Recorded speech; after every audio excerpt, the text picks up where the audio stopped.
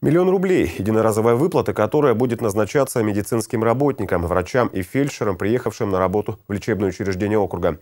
Администрация НАУ разработала ряд новых мер поддержки студентов целевого набора медвузов и врачей, приехавших работать в округ. Соответствующие изменения в окружное законодательство одобрены сегодня на заседании администрации округа.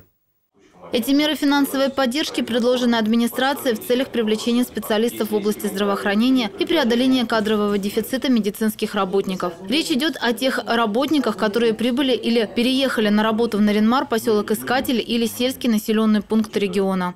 Предлагается установить выплату следующих размерах. Врачи, которые прибыли или приехали в рабочий поселок Искатель либо город Наринмар в размере 500 тысяч. Хотелось бы отметить, это идет в рамках э, дополнения той суммы выплат, которая сегодня установлена в рамках земского доктора, тому миллиону, который уже существует.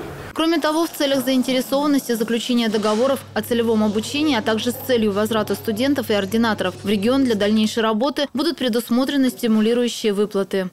Ежемесячная стипендия, обучающаяся на отлично в размере 5 тысяч рублей и обучающая на хорошо отлично, либо хорошо в размере 3 тысяч рублей.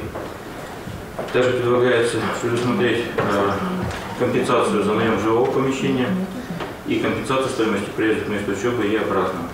При этом договор о целевом обучении будет предусматривать и обязательства со стороны обучающегося. В частности, будущий медик будет проходить практику в медорганизации, с которой заключен договор. А через месяц после получения диплома должен быть трудоустроен в это учреждение и проработать там не менее трех лет. В обратном случае договор предусматривает возврат в бюджет округа средств, которые потрачены на оплату обучения этого выпускника. Данный законопроект будет направлен в собрание депутатов Ненецкого округа и будет рассмотрен на очередной сессии ЗАГС Собрания.